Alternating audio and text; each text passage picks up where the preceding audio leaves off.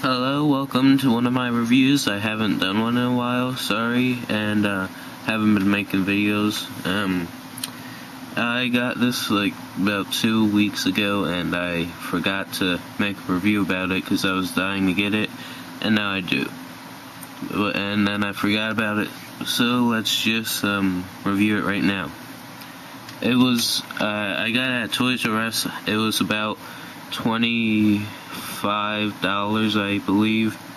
Um, they, it was a buy one get one free thing, and I got a small Legend of Chima thing for free. It came with a one of the crocodiles and a vehicle. But um, let's get back to this. Um, it's a epic set. It comes with two like if you watch Star Wars: The Clone Wars, you know what the Mandalorians are, who they are, and so and you'll be able to recognize the outfit they're in, and there there's two of them comes with two in the red Darth Maul uniform because he took over, and the uh, one has the normal Mandalorian face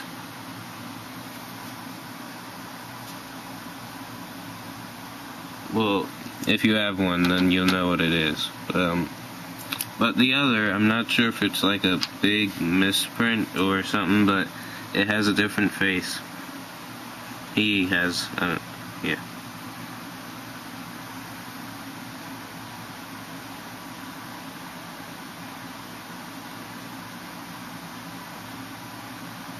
So you can see he kind of looks sad.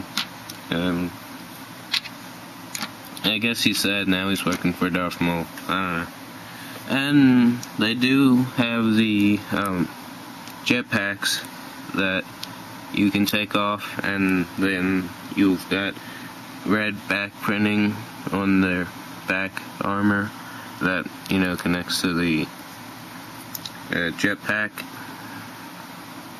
It's a dark, it's like kind of dark gray color for the jetpack I thought it was a great thing that they made the Star Wars Clone Wars um, uh, Darth Maul uniform because, uh, well, uh, they they don't really make that many Mandalorian sets, so I really like that.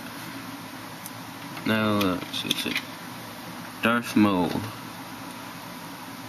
and they gave him the uh, legs from Star Wars: The Clone Wars. Uh, I can't really remember, but um, at one point they changed his legs. But this is what he looked like, I believe, during that part. I'm not sure. He might have had the different legs, but um, these are like yeah, you can take them off, and he'll just be legless. No, not this again. Okay. And his legs look like just like how they did in the Clone Wars, really. And uh, because like they got every single detail correct, basically. And hmm. put this back on. And he's got all the back printing and the arm printing. Uh, arm printing is starting to become a. It looks like it's going to become a normal thing for Lego to do. It's going to get less rare and rare. And it's a different Darth Maul face. It's Star Wars Clone Wars.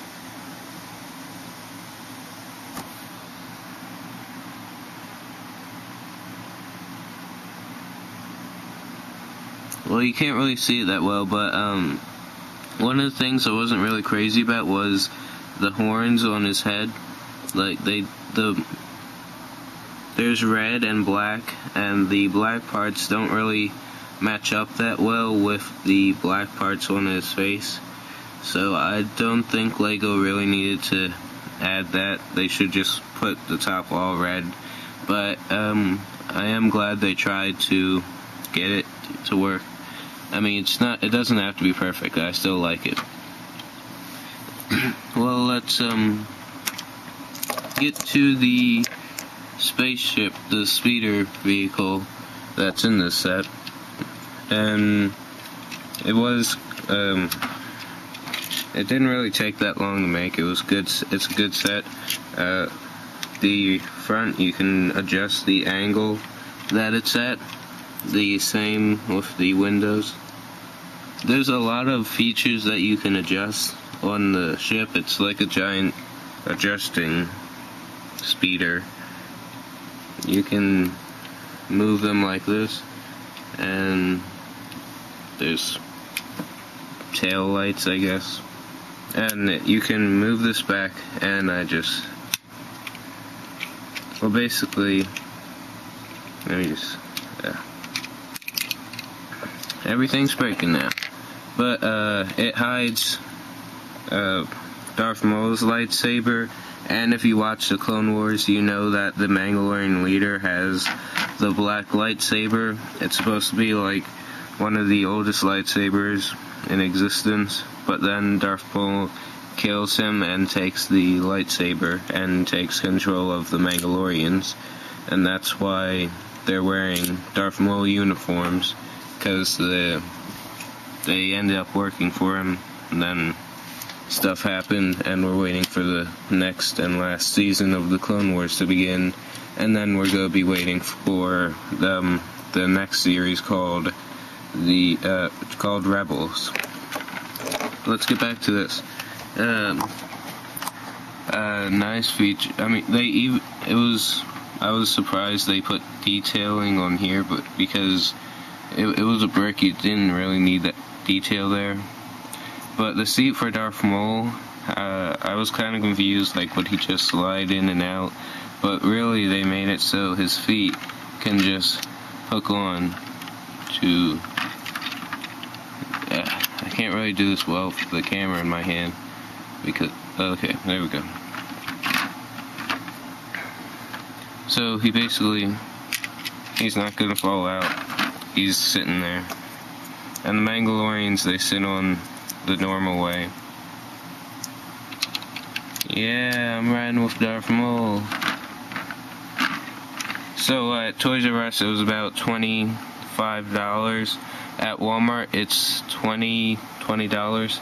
Um, really at Toys R Us I basically bought this and the the Lego Chima set because the Chima set was five dollars and at Walmart it's this is twenty dollars. So I would suggest getting it at Walmart unless you want to get a Chima set and you know if there's um, doing that again. But whenever they do that they end they change it they switch up what free set. And you're lucky whenever you come across one of those. So hope you enjoyed this review and there will be more